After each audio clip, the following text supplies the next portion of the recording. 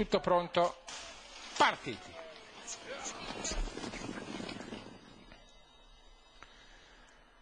Dal gruppo cerca di portarsi in evidenza per vie interne Gancio Cielo seguito da Panixena,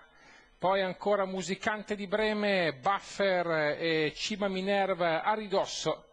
ancora per corsie esterne Lost Rockets, di dentro invece viaggia Corte Vecchio con in scia Interlandi, il compagno di colori, poi ancora Tumbe per via larga invece Big Trouble, poi Fiunchi Davanti Gancio Cielo che procede nella canonica tattica d'avanguardia, al secondo posto rimane sempre Panixena, al terzo all'interno in giù Barancio Nero galoppa invece Buffer che ha vicino Musicante di Breme in giallo e Bordeaux in quarta posizione, poi ancora i due della Fert con eh, Cortevecchio che precede Interlandia, al fianco di questi Ciba Minerv col Cap con in scia Los Roques. Nel frattempo il margine di Gancio Cielo si è fatto importante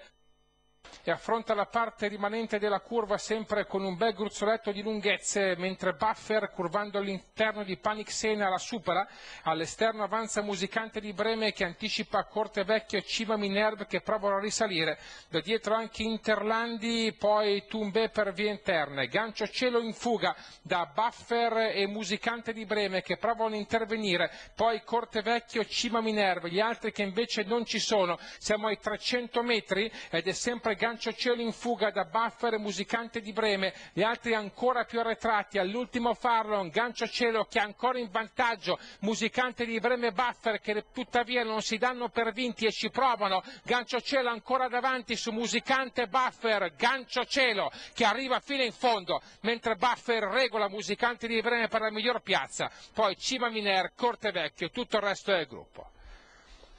Vince il favorito Gancio Ceno, Antonio Freso che colpisce in chiusura di giornata per signor Rolla ai colori, Stefano Botti al training.